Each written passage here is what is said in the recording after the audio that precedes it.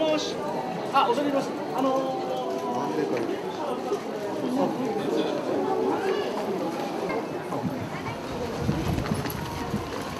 お疲れ様です。すいません。Sorry ちょっとはい。戦国のスタッフの方は皆さんないですが、はい。ちょっとここでインタビューを取りたいんですけど、はい。はい。お願いします。えー今帰国ということで、はいそうです今日。ははい。い、えーどのくらい期間行ってたんですか？えーと今回は1ヶ月ぐらいですね。はいアメリカは。結構試合決まるのは遅かったと思うんですが、はい。えーまず相手のマリスター選手の印象を。印象印象はそうですねあのまあ本当に人間離れしたものすごい肉体してるしまあそれなりの努力してあそこまでなったんでしょうけどまあ本当にモンスターみたいな相手ですね。はい。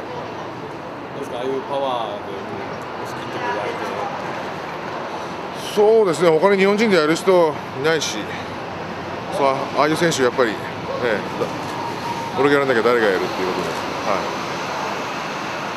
じゃあもう聞いた時やってやるって感じですか？い、やってやるっていうかこの、うん、そうですね。まあ俺がやらなきゃ誰がやるのかなっていうね。見たまんまですけどまあでも一筋縄にはいかないと思うんで。ねあのー本当それこそあのー本当怪我もしないでこうあのリングを降りることは決してありえないと思うし、まあ、もちろんこっちもやる覚悟でいるんで、はい、そういう試合になると思います。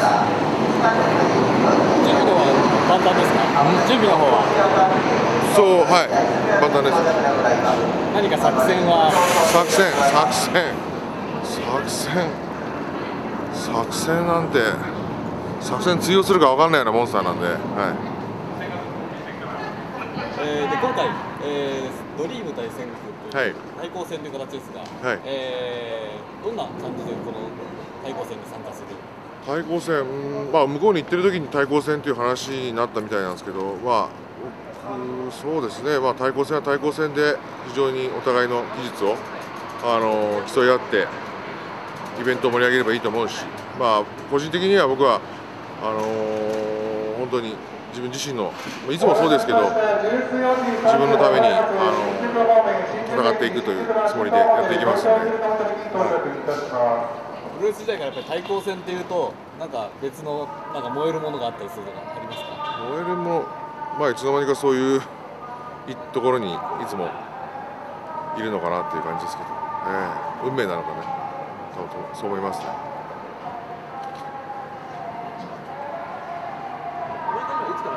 はい。えーと4週間前からです。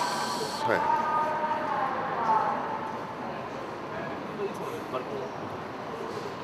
い。いや昨日まで。はい。昨日まで練習して帰ってきた感じですね。はい。まあやることはすべてやったんで、あとは。14時35分発新宿駅新宿ワシントンホテル東京広島ベルギーまもなく出発いたします。お乗り遅れのないようご注意ください。本当にあの谷川さんは藤田選手が、えっとチュップマンとバンナーとアリスターっていうふうに候補を言われてその中から一番強いアリスターをっていうふうに言ったっていうふうに説明したんですけどあ、そうなんですか。まあ、うんまあ、それならそれでいいんじゃないですか。ええそれならそれでいいんだろうけど。でも、あん中で誰選ぶって言ったら決まってんじゃないですか、私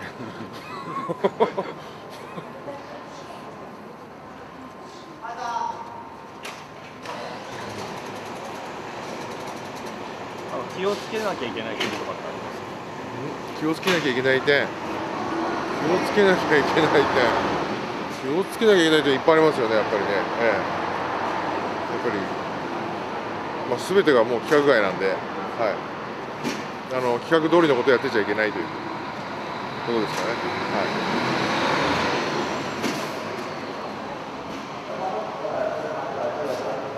まあ、ああいうモンスターみたいなのは、ね、先輩特許みたいなもんでいつも俺のところに来るから。さあ新しいモンスターまたやるのかなって感じです。楽しみですよ。はい。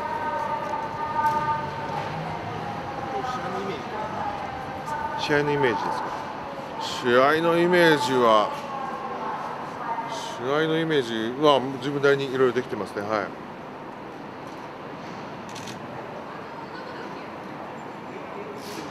アリスターオランダの選手ですか？ええ。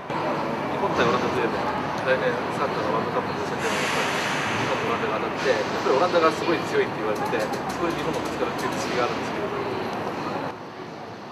まあサッカーと格闘技全然違うから 言いようがないんだけど、はい、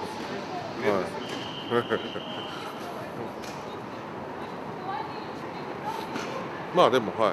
あのーそうですね。まあサッカーでも何でも競技、うんまあ相手が大きければ大きいほどやりがいありますから、うんお互い頑張ったらいい頑張ったらいいんじゃないですかね。サッカーも来年楽しみですね。はい。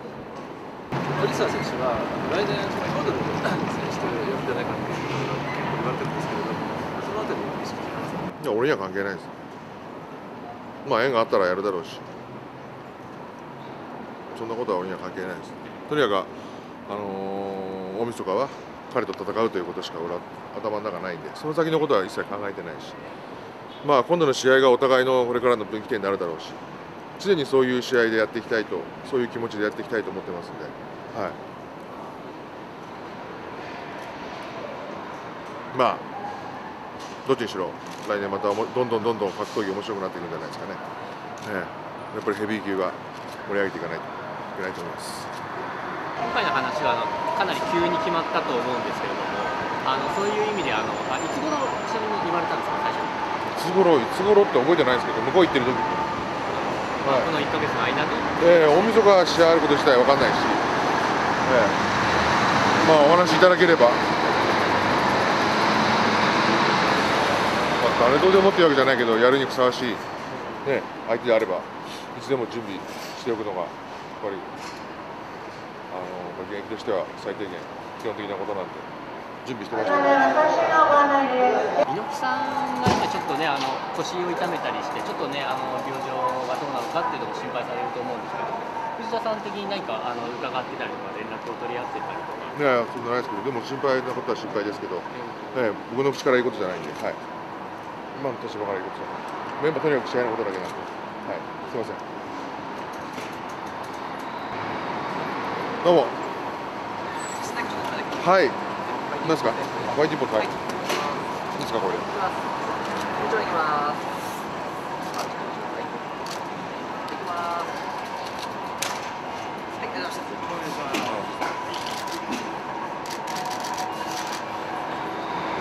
い。こちらもねはい行きます、はい。